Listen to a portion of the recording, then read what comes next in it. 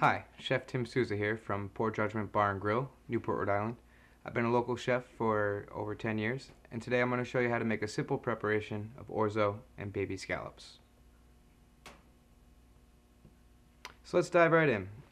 Let's start with the orzo salad. So we're going to take the orzo and cook it just like you would any other pasta, 6 to 8 minutes in boiling salted water. And that's our orzo right here. That's all we've done. Then we're going to saute some spinach and grape tomatoes right in a little bit of olive oil, salt and pepper. And then we're going to fold in our cooked orzo right into that. And that's going to be our orzo salad. After that, we're going to saute our baby scallops.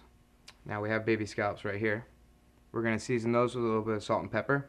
And in a nice hot skillet, we're going to sear those about two to three minutes and they'll be ready, ready to eat. They don't take long to cook because they're so small and you want to keep them right at the proper cooking temperature so you don't overcook them and they'll be rubbery and chewy. And to top it off, we're going to add a little sliced basil on top of the dish, just for that extra flavor and a little bit of color. So what I have here is our orzo salad, already assembled and ready to go.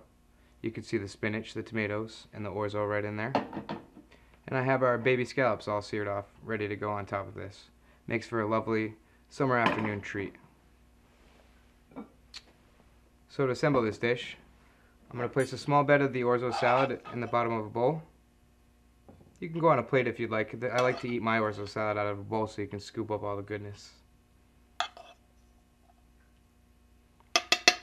And then we're going to go ahead and put the uh, sauteed scallops right over the top of that. Now the thing about bay scallops is they're definitely sweeter than a sea scallop, so they have a little bit of a different flavor profile. So depending on your application, this is a great application to use the bay scallop, nice and sweet. And just a touch of fresh basil right on top. And there you have orzo with baby scallops.